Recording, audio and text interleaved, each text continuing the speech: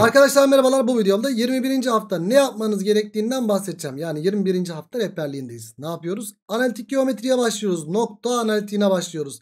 Evet önemli bir yer. Analitik geometrinin hepini, hepsini düşünecek olursak çember analitiği de dahil olmak üzere toplamda 5 soru yani soruların yarısının gelme ihtimali var. Ee, geçen sene 4 tane soru geldi. Ondan önceki sene 5 tane soru geldi analitik geometriden haberiniz olsun. 4 garanti 3 tanesi normal analitik bir tanesi de çember analitiği olacak şekilde.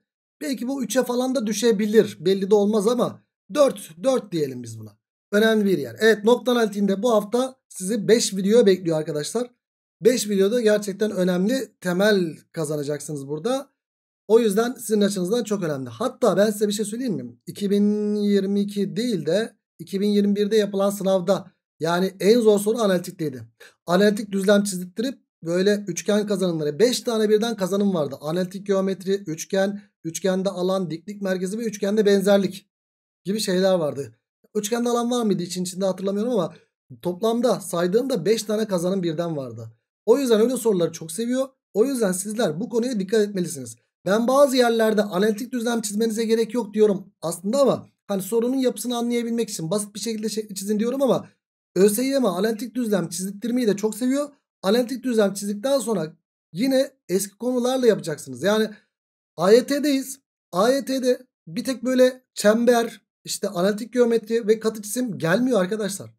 Tamam bu konular çıkıyormuş gibi ama bu konuların içerisinde size üçgende, dörtgende soruyorlar. O yüzden üçgensiz yapılmıyor zaten. Yani analitik geometri sorduklarında mesela 4 tane analitik sorusu varsa bunun 3'ü kesinlikle ama kesinlikle üçgenle ya da dörtgenle alakalıdır arkadaşım.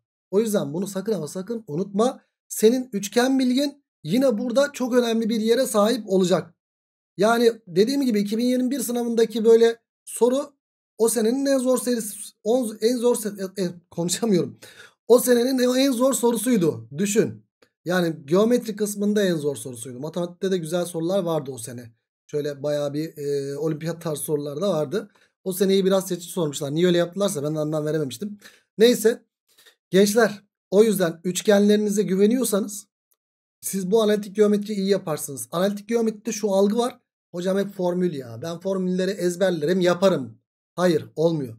Yani sen üçgeni bilmeden analitik geometride istediğin kadar formül bil veya 4 sorunun anca bir tanesini yapabilirsin. Bu kesin ve net. Eski konuları da birleştirmeyi de sakın ama sakın unutma. Verilen bilgileri burada da kullanmayı sakın ama sakın unutma. Tamam. Evet gençler gerçekten önemli. ÖSYM böyle şeyden soru sorduğu zaman e, doğru analitikten soru sorduğu zaman analitik düzlem çizdirmeli çok orijinal sorularla karşımıza gelebiliyor. O yüzden konu anlatımındaki sorulara dikkat edin. Bir. ikincisinde nereye dikkat edin? ÖSYM benzeri sorularımız var ya bizim bütün analitik bittikten sonra. Oraya kesinlikle ama kesinlikle dikkat edin. Orası çok önemli. Evet. Şimdi gençler şu bizim programda 21. haftada ne yapacağız? 5 tane birden video var. Nokta analitiğinde 5 videoyu bir günde bitirebilirsiniz. Ya da 2 günde bitir diyelim fark etmez. Sonra nokta analitiğiyle ilgili kitaplarınızdaki soruları da çözeceksiniz. Yani bu haftayı böyle rahat bir şekilde bitirirsiniz. Önümüzdeki hafta biraz sizin açınızdan sıkıntı olabilir. Onun sebebini de önümüzdeki hafta söyleyeceğim ben size. Ama lütfen şu nokta analitiğine önem verin. Ya bir soruda ya da iki soruda karşılaşacağınız bir şey garanti net bir şekilde nokta net ile karşılaşacaksınız. Hocam ben nokta net ile çalışmıyorum doğru net ile çalışayım diyen arkadaşlarınız olabilir. Kesinlikle yanlış düşünüyor. Belki de soruların analitik geometride soruların yarısı nokta netinden gelebilir. Çünkü yani çok soru çeşidi yazmaya e, uygun bir konu olduğu için buna dikkat edin ve eski konuları çok iyi bir şekilde kullandırmaya uygun bir konu olduğu için o yüzden bu nokta analitiğine dikkat edin ve dediğim gibi her soruya orada dikkat. Analitik düzlem çizdirmeli sorulara ve hatta ÖSYM'nin ÖSYM benzeri sorulara da dikkat edin. Daha onlara bu hafta çözmeyeceksiniz ama sonrasında çözeceksiniz. Evet gençler bu haftanız 5 video rahat bir şekilde halledersiniz diye düşünüyorum. Zevkli bir şekilde yaparsınız. Bilmediğiniz bir konu yok. Ee, birkaç bilgi vereceğiz orada. Tanım vereceğiz. O tanım üzerinde bir şeyler yapacaksınız. Tabi her konunun bir mantığı var. O mantığı da yine konularda işliyor muyuz? İşliyoruz.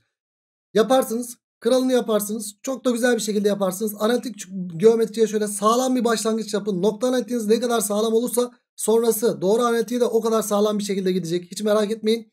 AYT'de baya güçlü bir yere sahip olan bir konunun başlangıcındayız. O yüzden buna çok önem verin derim size. Gençler Başka söyleyecek bir şey var mı? Yok. O zaman ne diyoruz? Bir sonraki hafta. Doğru analitikte yani 22. hafta rehberliğinde görüşmek dileğiyle. Kendinize iyi bakın. Hoşçakalın.